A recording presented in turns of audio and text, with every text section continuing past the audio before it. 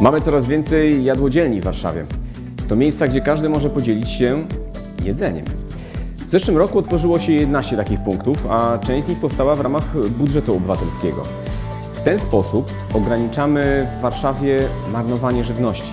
Pamiętajmy, żeby przynosić produkty, które sami moglibyśmy zjeść. Mogą być nawet te po dacie najlepiej spożyć przed, ale mieszczą się w terminie przydatności do spożycia najlepiej spożyć do.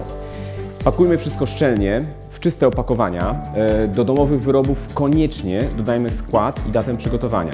Produkty suche mogą być napoczęte, ale powinny być bardzo dobrze zamknięte. W jadłodzielniach nie zostawiajmy absolutnie nadgniłych rzeczy, surowego mięsa, dań z surowymi jajami czy niepasteryzowanym mlekiem. Jadłodzielnie są dostępne dla wszystkich.